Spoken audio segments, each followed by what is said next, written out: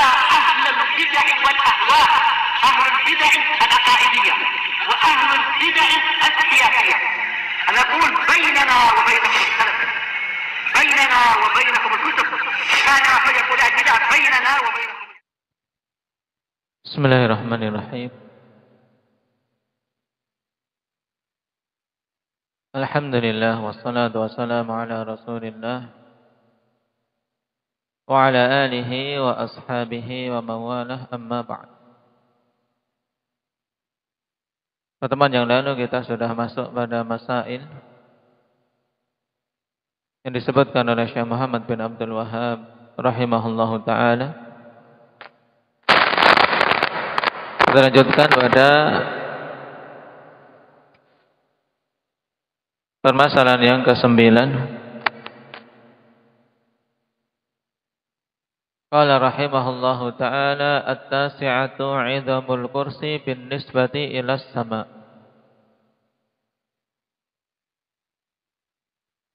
Pada bab ini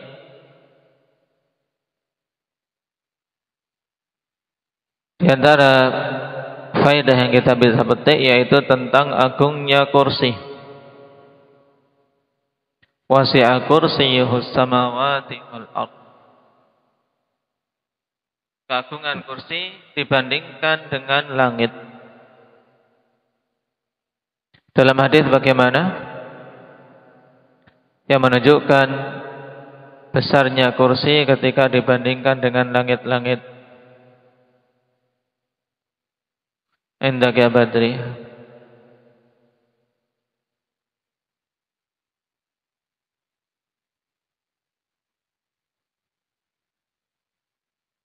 Diibaratkan seperti apa?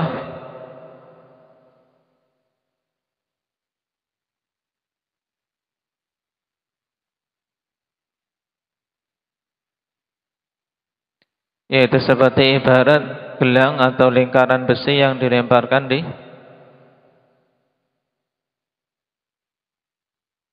di perisai sesuatu yang lebar. Nah,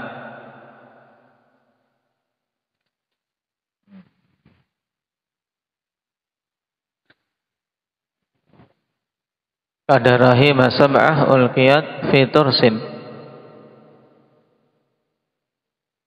Walaupun pada riwayat tersebut telah kita lewati padanya kelemahan.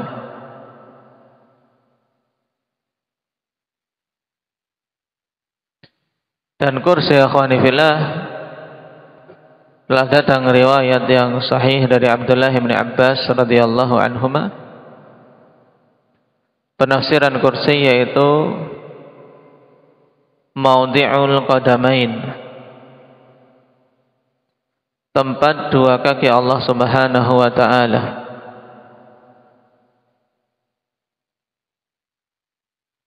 Dan kita beriman dengan itu karena khabar tersebut khabar yang walaupun mauquf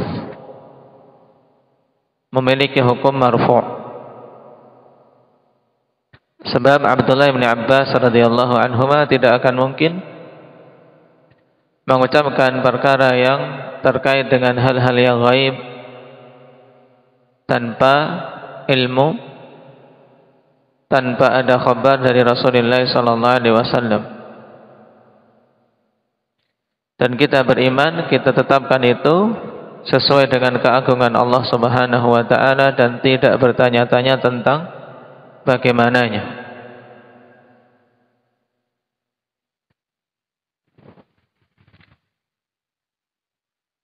Dan cukup pada ayat wasi'a kursiyuhus samawati wal ard.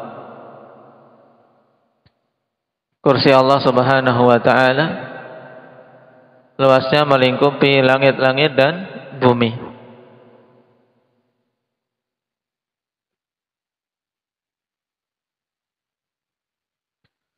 Al-ashirah idhamul arshi bin nisbati ilal kursi.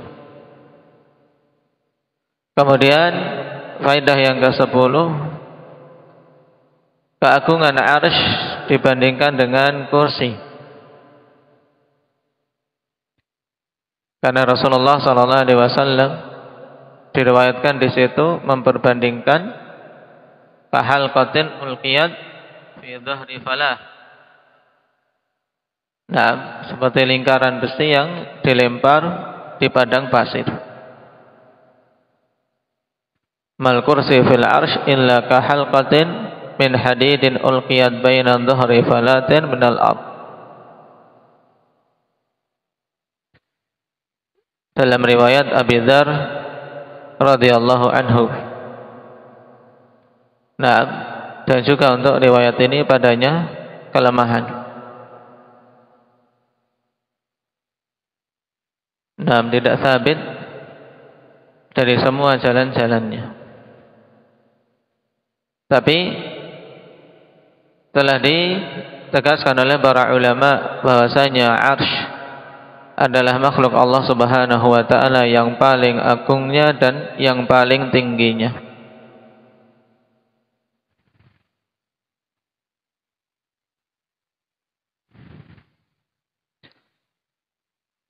Al-hadiyah asyrah anna al-arsha ghairul kursi wal ma' Yang ke sebelas bahwasanya arsh itu bukan kursi dan bukan air. Nah, dan ini jelas sebagai bantahan untuk mereka-mereka yang mengatakan bahwasanya arsh itu air atau arsh itu kursi. Taib dan Syekh bin Utsaimin sendiri mengatakan walam ara man qala innal arsha huwal ma. Tidak mendapati kelompok atau orang yang berpendapat bahwasanya arsh itu adalah air tapi untuk terkait arsy itu adalah kursi ada. Nah, ada yang berpendapat demikian. Mereka berlandaskan dengan hadis innallaha yad'u kursiyahu yaumal qiyamah. Mereka menganggap bahwasanya kursi yang dimaksud adalah arsh, padahal itu dua makhluk yang berbeda. Kursi sendiri, arsh sendiri.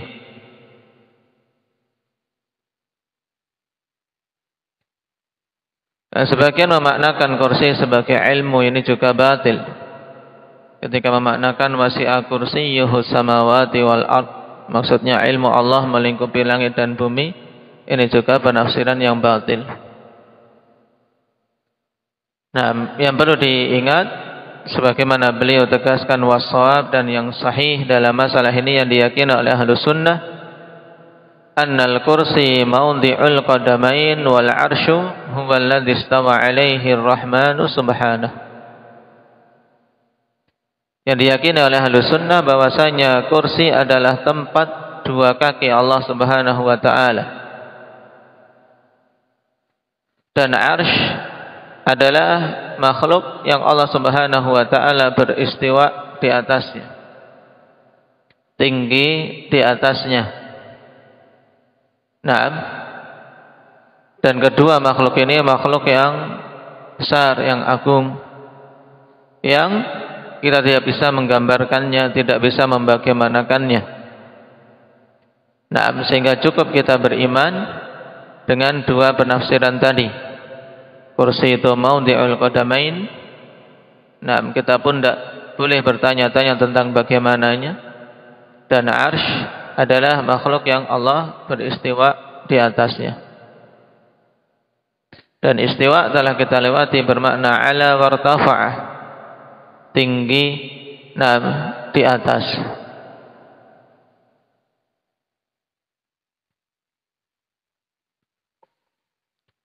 الثانية عشرة كم بين كل سماء إلى سماء Faedah yang ke-12 Nah, menunjukkan tentang berapa jarak antara setiap langit ke langit berikutnya. Berapa jaraknya? Indah Khadir 500 tahun perjalanan. Al-Thalitha Ashrah Kam baina sama'i sabi'ati wal kursi Berapa jarak antara langit yang ketujuh dengan kursi? Ini juga berapa jaraknya Hamzah jarak antara langit yang ketujuh dengan kursi Hah? 500 500 tahun perjalanan. Taib. Sebagaimana riwayat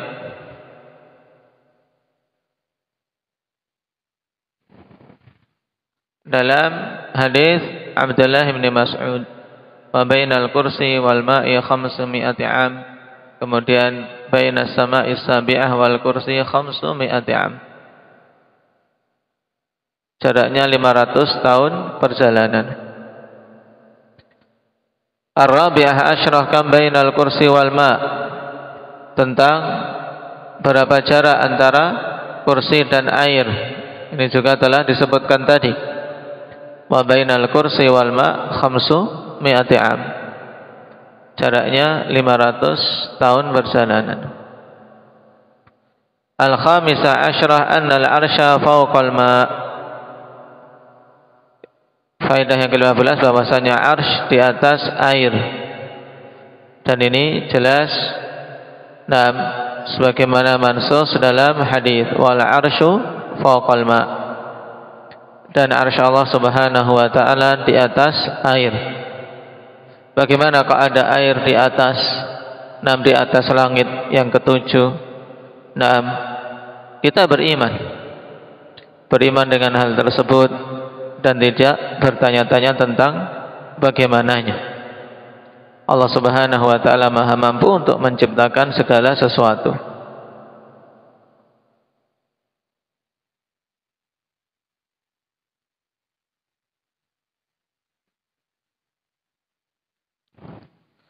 Asadisah anna fawqal arsh Faedah yang ke-16 bahwasanya Allah Subhanahu wa taala di atas arsy tinggi di atas arsy. Dan hal ini tidak melazimkan bahwasanya Allah butuh terhadap arsy tersebut tidak. Nah, Allah Subhanahu wa taala al-a'la, zat yang maha tinggi. Baik itu tinggi secara sifat-sifatnya tinggi kekuasaannya demikian pula tinggi zatnya yaitu bahwasanya zat Allah Subhanahu wa taala tinggi di atas segala-galanya. Naam. Sebagaimana dalil yang banyak tentang penetapan ini Ar-Rahmanu 'alal 'arsy istawa.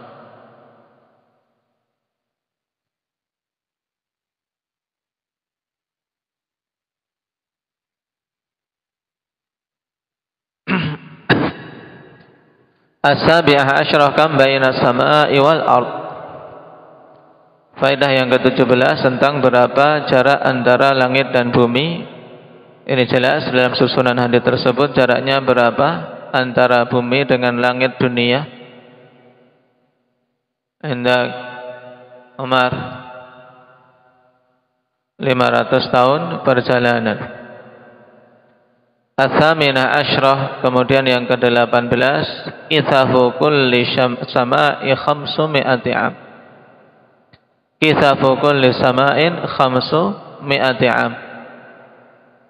Atau khamsu mi'ati sanah.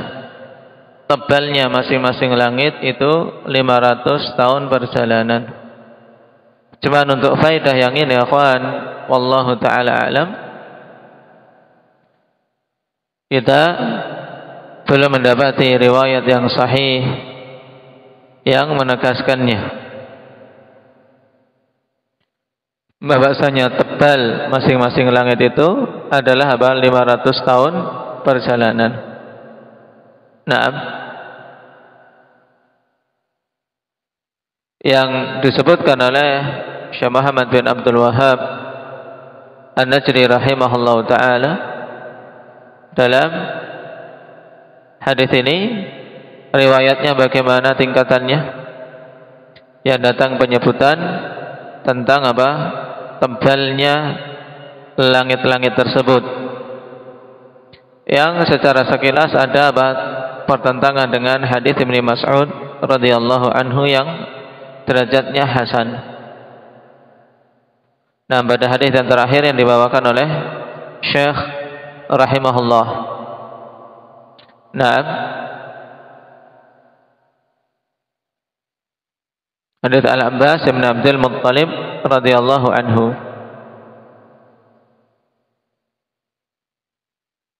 Wa kithafu kulli sama'in masiratu khamsi mi'ati sanah. Telah kita lewati riwayat ini riwayat yang daif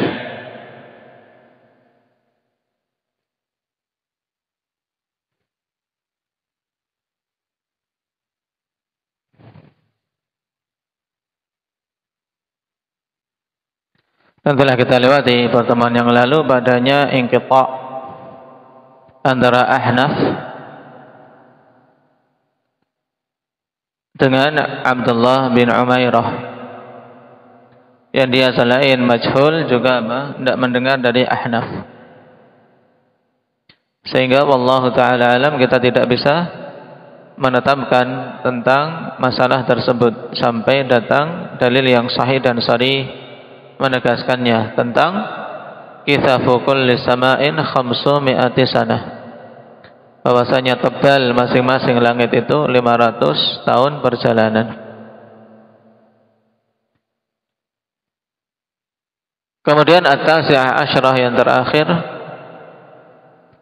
أن البحر الذي فوق السماوات بين أسفله وأعلاه خمسمائة سنة والله أعلم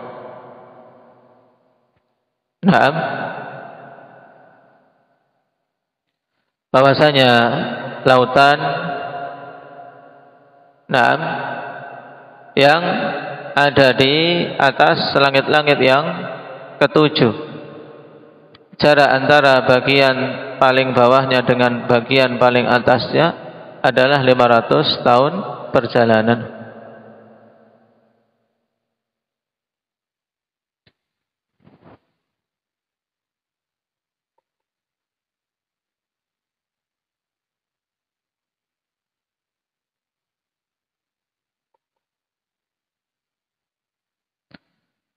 Dan ini juga diambil dari hadis Al-Abbas Ibn Abdul Muttalib radhiyallahu anhu.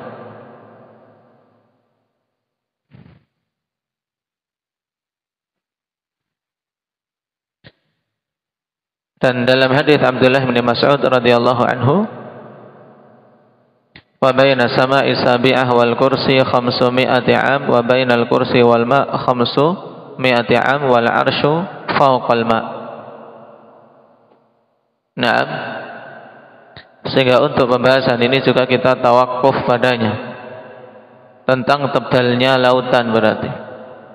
Karena maksudnya di sini untuk masalah yang ke-19 yaitu tebalnya lautan itu dari dasar lautan sampai bagian atasnya itu nah 500 tahun perjalanan seperti permasalahan tebalnya langit.